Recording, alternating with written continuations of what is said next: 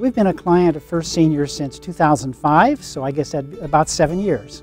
Well, when 2008 came along and the market took such a dip, we were very happy that we had gotten into this uh, well before that. So, so the crash in the market did not, uh, did not affect us, and we were very happy.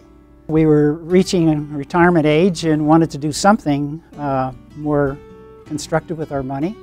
And I was getting tired of following mutual funds year after year and trying to change the money from one thing to another. Crash Proof Retirement has uh, given us some, uh, I guess, some peace, um, uh, confidence that we don't have to be constantly every month checking on the stock market to see how it's going or what, uh, what we need to do or what's changed from here to there. It's, we have our money in one place where we have the confidence that it's doing as, as well as, could be, as it could do. After the seven years, we had a review today, and which we've had every year.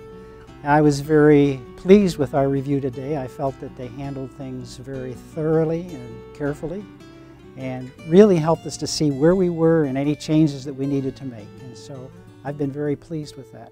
For people who are wondering about what to do with their money or they're on the fence, uh, I would tell them at least check out First Senior Financial.